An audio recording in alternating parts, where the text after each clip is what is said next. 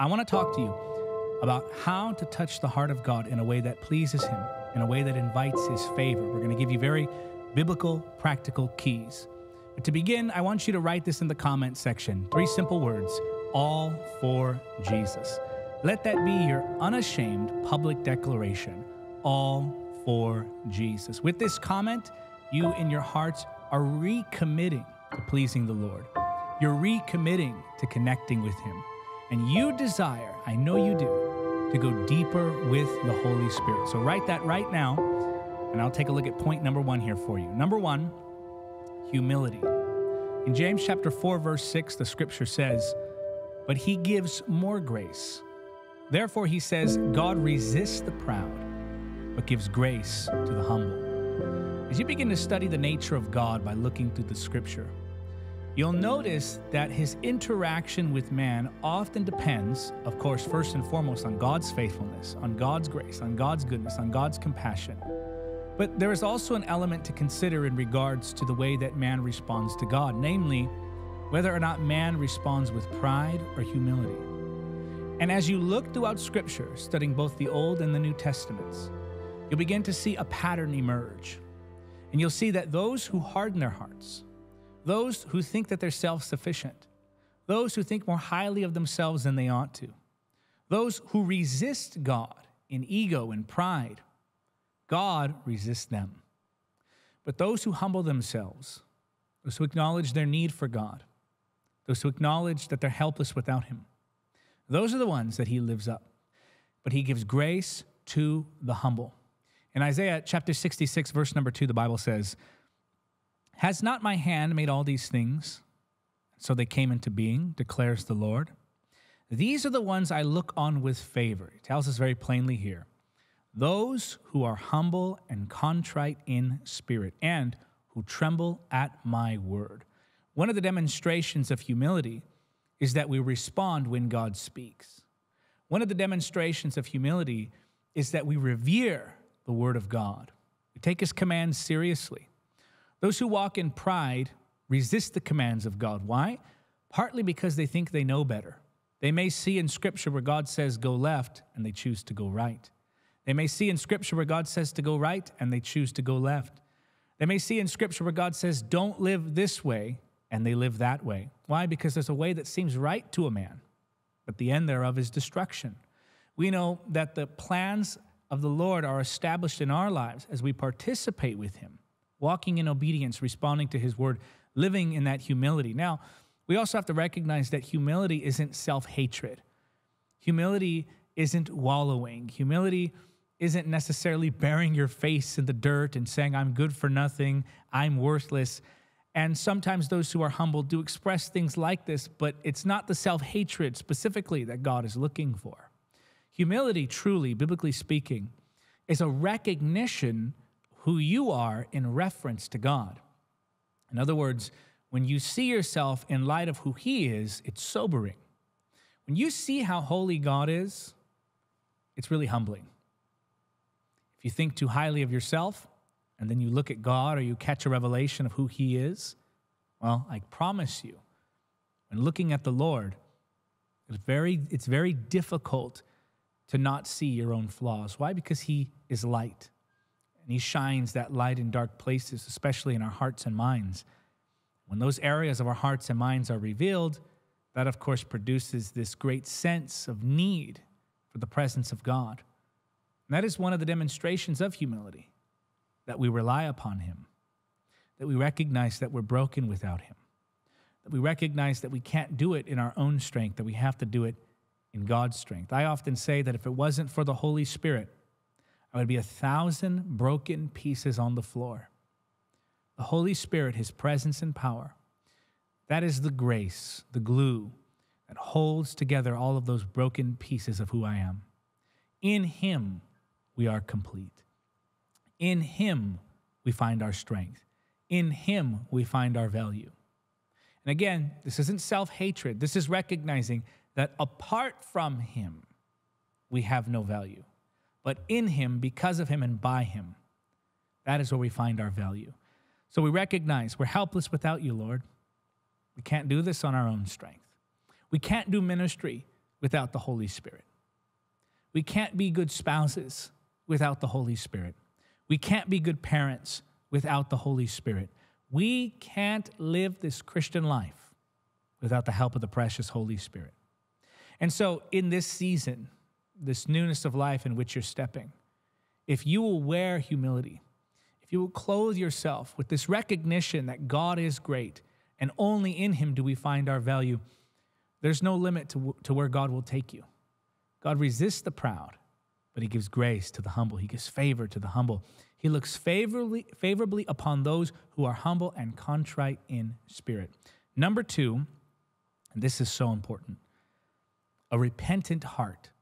In Psalm chapter 51, verses 16 to 19, the word says this You do not desire a sacrifice, or I would offer one. You do not want a burnt offering. The sacrifice you desire is a broken spirit. You will not reject a broken and repentant heart, O God. Look with favor on Zion and help her, rebuild the walls of Jerusalem. Then you will be pleased with sacrifices, this is key, offered in the right spirit, with burnt offerings and whole burnt offerings. Then bulls will again be sacrificed on your altar. It's not in the sacrifice, it's in the sincerity. When we live in a way that recognizes the flaws, the frailty of human nature, and when we live in a way that constantly addresses these issues, not dismissing them, not minimizing them, but acknowledging them, confessing them, and then tackling them for the problems that they are. When we approach the Lord asking for his forgiveness, when we approach the Lord asking for strength to do that which is right, when we constantly correct those little areas of our lives where there's compromise, the constant correction of compromise that's what it is to live with a repentant heart. Now, I'm not talking about legalism. And by the way, you know you're legalistic if you live in the constant fear of losing your salvation. Why? Because Ephesians chapter 2, verses 8 and 9 tell us that salvation is by grace through faith. It's not of works, lest any man should boast. So it's not that we do good works to be saved, but we do good works because we are saved. So I'm not talking about legalism, this constantly beating yourself up, this constant paranoia and fear and tension. No, the Lord gave us assurance of salvation. The Lord tells us that we can know in His Word that we can know that we are born again. Not this uncertainty, not this picturing of salvation as if it's just hanging by a thin thread, ready to be broken at any moment, that every mistake we make is the last one we'll ever make. No, that's not what I'm talking about. When I talk about living with a repentant heart, I'm talking about living in a way that acknowledges the wrongdoing, that acknowledges that there is sinfulness in us. If any man thinks he's without sin, he's a liar. If anyone says they don't have sin, he's a liar. All of us have areas in our lives where we could be more like Jesus. And the moment that we fail to recognize that, that's the moment we step into pride. That's the moment we allow compromise to continue. You see, legalism produces one of two results. When you think that salvation is dependent upon your works, it produces either pride or despair.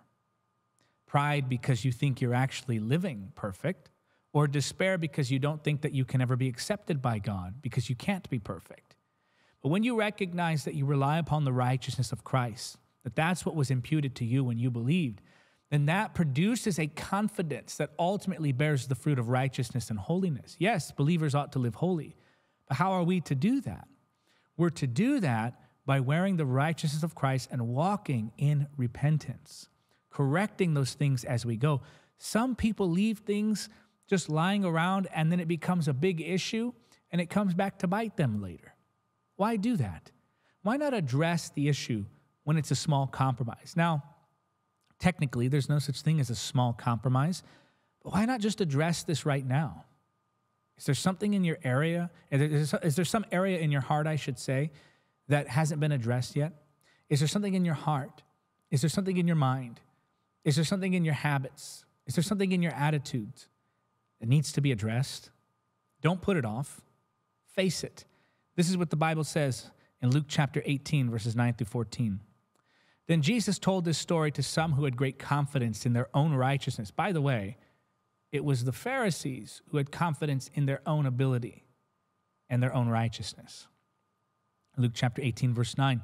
Then Jesus told this story to some who had great confidence in their own righteousness and scorned everyone else.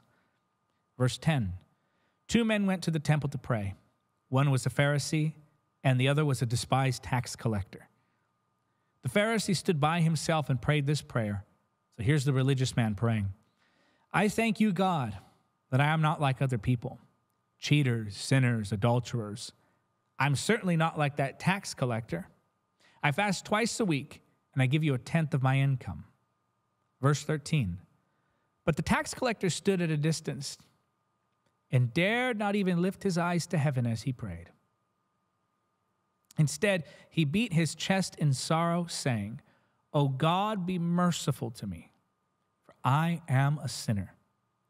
I tell you, this sinner, not the Pharisee, returned home justified before God. For those who exalt themselves will be humbled, and those who humble themselves will be exalted. This is a lifestyle of repentance. Now, we recognize in the New Testament, after the finished work of the cross, that we don't refer to ourselves as sinners anymore. We are saints. We are the saints of God in Christ Jesus. But we also must recognize the reality that there are areas of our hearts and minds that need to be worked on. And if we just try to sweep those areas under the rug and ignore them, if we just try to, as I said before, minimize those things, if we leave those areas of compromise and never once even attempt to fix them, we're walking on dangerous ground because that compromise becomes sin. That sin ultimately produces death, destruction, despair. You want to please God? You want to walk in a way that invites his favor? Then live, live like this man who prayed in Jesus' story. Live as the psalmist wrote, with that brokenness. And it's not, I'm not talking about brokenness in terms of disorder, because sometimes when we think broken, we think uh, disorder and chaos. That's not what the scripture is talking about here. That brokenness is pliability. That brokenness is willingness. Really, it's the breaking of the will, is what the scripture is describing here to where that stubborn, hard hearted, sinful will becomes pliable. It's broken, and then you pick up the will of God.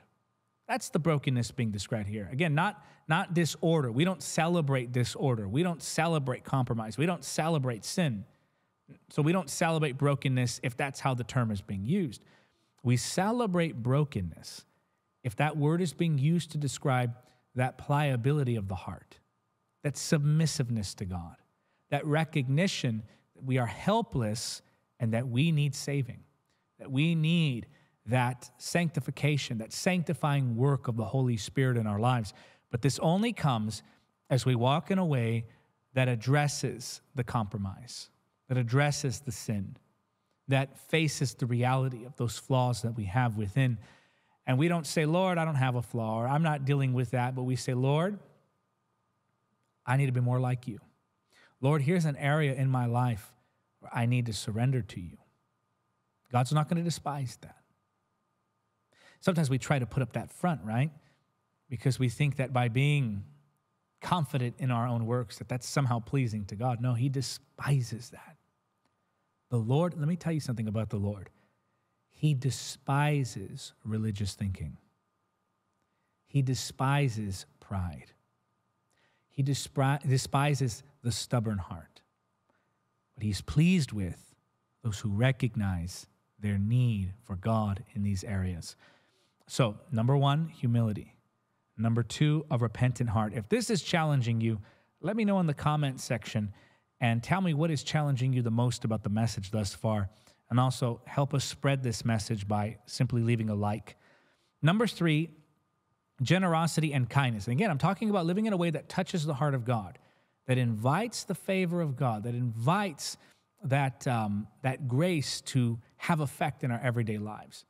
In the book of Hebrews, chapter 13, verse number 16, the Bible says this And do not forget to do good and to share with others, for with such sacrifices, God is pleased. I want to read that again. Let this settle in your spirit. Hebrews 13, 16. And do not forget to do good and to share with others, for with such sacrifices, God is pleased. The Lord is pleased when we share with others sacrificially. The Lord is pleased when we help those in need. Not just being generous, by the way, with our resources, with food, but also being generous with your time, with your emotional energy. You know, it's very popular today to say that you should conserve your emotional energy as much as is possible. Don't let anybody disturb your emotional balance. Don't let anybody disturb or inconvenience you or make you feel negative in any way. And just to be clear, I agree with the fundamental idea there. I do agree that you shouldn't allow people to take advantage of your kindness. You shouldn't allow people to completely drain you. In fact, I've taught about that. People who drain time, drain energy, energy, drain resources. But we have to have balance in these things. We also have to recognize that there are times when helping others will be a sacrifice. Now, again, don't let people abuse that and don't live in such a way where you can't continually give. Uh, because if you exhaust yourself to a point where you can't do any good, then that's no good to other people or yourself. But we must also recognize that to help someone sometimes is inconvenient that to share with someone sometimes will mean that we have a little less. But ultimately, God sees this. Ultimately, God recognizes when you are sacrificial, when you are selfless. And this, as the scripture says, are pleasing to God. It is pleasing to God, I should say. And do not forget to do good and to share with others, for with such sacrifices, God is pleased. Hear this now generosity is a demonstration of godliness. Generosity is a demonstration of godliness. Also, kindness. Take, for example, the sins of Sodom. Now, this was something really interesting that I saw in Scripture. I was reading this in the book of Genesis, chapter 18, and something here stood out to me. Let's go to Genesis 18. I'm going to read verses 20 and 21. Watch this. Then the Lord said, The outcry against Sodom and Gomorrah is so great that their sin is that their sin and their sin so grievous, excuse me. The outcry against Sodom and Gomorrah is so great and their sin so grievous that I will go down and see if what they have done is as bad as the outcry that has reached me. If not, I will know. Now I was looking at this and I said, Lord, what outcry? Obviously, God sees all things. And here he takes on a human form or a physical form so that he can go down and see. And obviously, there were um, certain limitations that he allowed to be on himself temporarily that he at any moment could have taken off um, those limitations. But you know, I was looking at this phrasing, this outcry. Somebody is crying out against Sodom and Gomorrah. Somebody is crying out about, about the wickedness there. And I thought, what did he mean that there was an outcry? Now, we know, of course, that the sexual sins of Sodom and Gomorrah were wicked.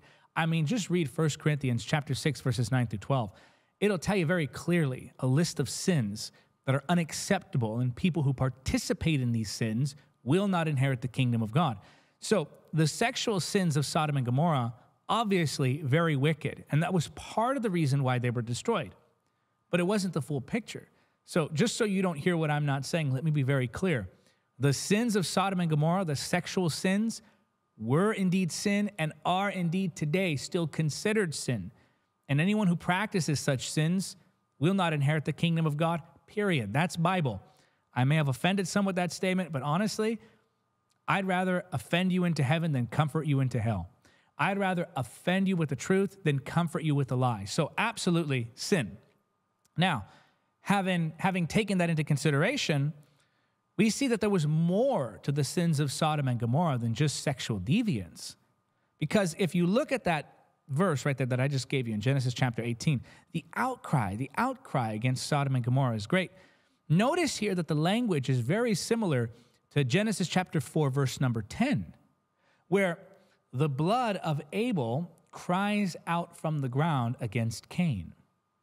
So, when we look at what the scripture is describing here, what we are actually seeing is the outcry of those who are being sinned against by those of Sodom and Gomorrah.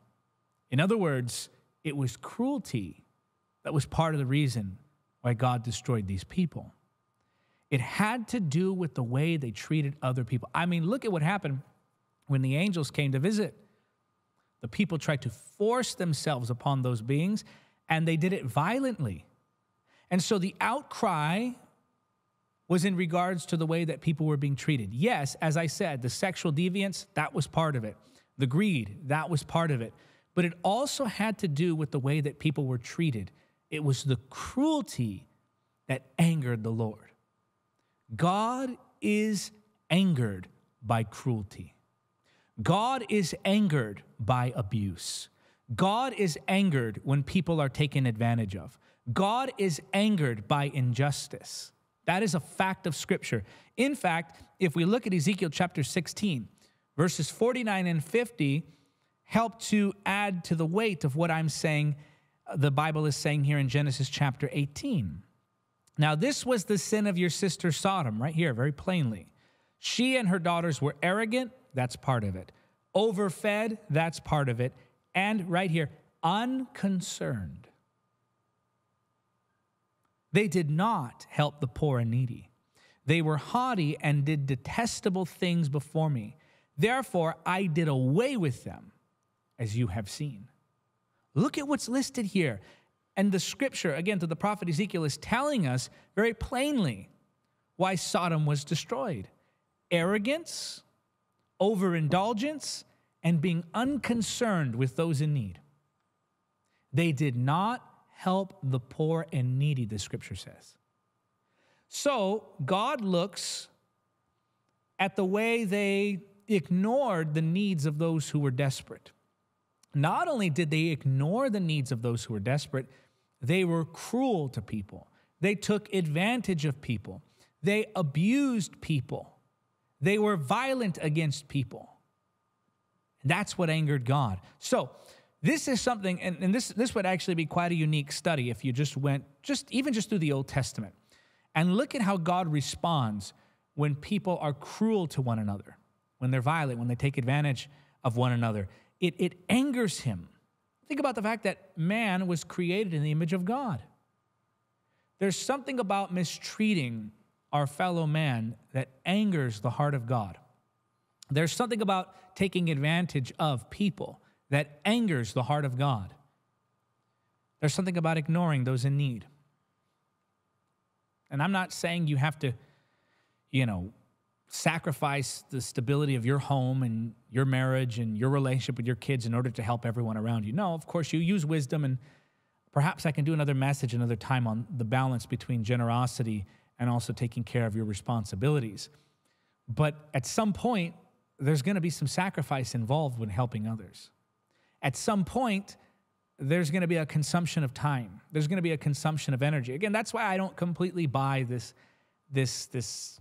I guess it's a psychological angle that people are playing when it comes to uh, what I see on social media. People are constantly talking about, you know, protecting your own energy, protecting your own, and some of that's even, you know, new age in the first place. But you know, this idea, this this self care, it's taken to an extreme today. I think we have to be there for others. And when you consider the needy, when you consider the desperate, when you help those who cannot be of help to you, that pleases the Lord. I'm telling you, it touches the heart of God.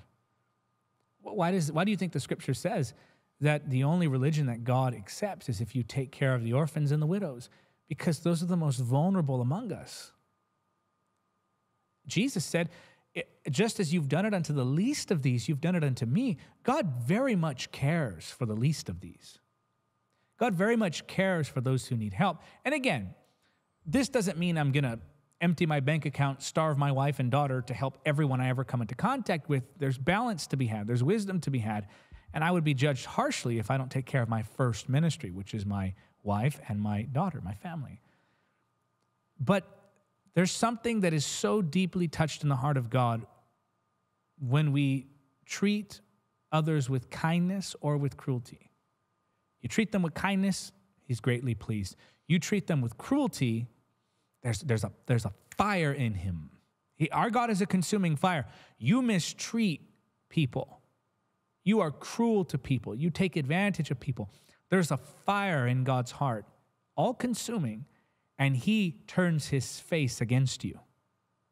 Now that's Bible. Mark chapter 12, verses 30 and 31. Love the Lord your God with all your heart and with all your soul and with all your mind and with all your strength.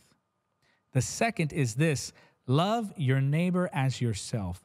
There is no commandment greater than these. So, what does Jesus tell us to do? What, what, what does he say summarizes the whole of the law and the prophets? He says, Look, you love God with all that you are, and then you love your neighbor as yourself. That's how important that is to take care of others, to treat others with generosity and kindness. You do that, it touches the heart of God. So, number one, humility. Number two, a repentant heart. Number three, generosity and kindness. I'll give you four and five here. Number four, faith. Hebrews 11, 6 says, But without faith, it is, it is impossible to please him. For he that cometh to God must believe that he is, and that he is a rewarder of them that diligently seek him. Childlike faith. You know, my daughter at the time of me doing this live stream is four years old. She'll be five soon. And the way that she trusts her mother and I, the way that she trusts Jess, the trusts Jess, the way that she trusts me, there's an innocence to that. If she asks for pizza, which she often does, and Uncle Steve will tell you that, if she asks for a pizza, the moment I say, okay, we'll get you a pizza, I don't know what it is. She just, it's her favorite meal. When she asks for that pizza and I say, okay, we'll order it, and she has a very specific place she likes to order from, and it's, it's a whole very specific order that she, she has. For four years old, she's very particular. And so I'll order it, and obviously it comes to the house, and, and she's so happy. But, but I'll notice that she starts rejoicing even before it arrives. Or if there's a specific toy that she's been eyeing, she'll show me pictures of it. She'll constantly talk about it. Dad, can I please have this? Dad, will you please buy me this? Dad, I really want this. And, you know, sometimes if we think it's right, we'll, we'll, we'll, get it for her. I try not to overdo it. We want to make sure she understands the meaning of no and she understands boundaries. She understands that you can't always get what you want, but there are times when we will say yes. And the toy doesn't even have to be there. The toy doesn't have to be in her hands. I don't even have to place the order right away. Just by me saying, okay, I'll get it for you. Immediately, she's jumping up and down. She's rejoicing as if she already has it. Faith is the substance of things hoped for, the evidence of things not seen. There's something in the heart of God that's touched when we totally believe Him. I'll never forget one time when the Holy Spirit had to correct me. He rebuked me. The Holy Spirit does that often. Um, and you have to listen for those corrections because they're very helpful. I remember there was a time in our ministry when we were believing for resources to come in, and I was getting a little stressed out. And this was several years ago. Um, and since then, the Lord's really worked on my heart in this area where whenever there's a need, I just I even my staff will even tell you. I just say the Lord's going to take care of it. Need's going to come in. Don't even worry about it. God's going to take care of it because I know I've seen him do it too many times to worry ever again. But on this particular instance, I was worried. I was nervous, I should say, a little uneasy about it. And the Holy Spirit spoke to me. He says, I'm going to take care of the need. I said, Okay, thank you, Holy Spirit. And I received that word, but I was still a little bit nervous. I was still looking for the resources to come in. And then a gentleman came and said, Hey, the Lord led me to write a check to your ministry. He wrote a check to our ministry and he gave me the check, and I saw the check. It was the amount that we needed, it was exactly what we needed. And as soon as I had the check in my hand, ah, oh, relief flooded my being. And the Holy Spirit had to correct me. He said, Why is it that you trust the signature of a man? More than you trust my voice. And I knew what he meant. He was basically asking me, Why are you so relieved when a man promises to meet the need? But you were still nervous, even though I promised to meet the need. Because I was lacking in faith. I'm just going to admit it. And the Lord has to constantly help me to grow my faith, to stretch my faith, to test my faith. You know, Jesus only marveled at two things. In Mark chapter 6, verses 5 through 6, we see that he marveled at the unbelief of those he was trying to minister to. And then he marvels at faith in Matthew chapter 8, verse 10. It's the only thing Jesus marveled at their unbelief and then their faith. Because that's, that's what moves God's heart. Without faith, it's impossible to please him. We must learn to have childlike reliance upon him, to where when he speaks, relief floods the soul. When he speaks, we're at peace. When he speaks, we count it as done because it is. And we have to learn to get to that place where we can trust him with that childlike faith. Think about how Peter came out of the boat walking upon the water when Jesus called him. He says, If it's really you, you, you give the word and I'll get out of this boat. So Peter wasn't really walking on the water, he was walking on the word. He was walking on a word that Jesus had spoken. And that faith, when it meets the word, it holds up. When the promises of God are met with the faith of men and women, miracles are born. When the promises of God are met with the faith of men and women, miracles are born. So that's number four faith. You live with that childlikeness. Lord, I believe it. I don't see how it's going to happen. I can't imagine the way it's going to come about in my mind, I cannot conceive of how this is going to play out and work in my favor. But I know what you said, Lord. I know who you are, Lord, and I know what your power is capable of doing, Lord.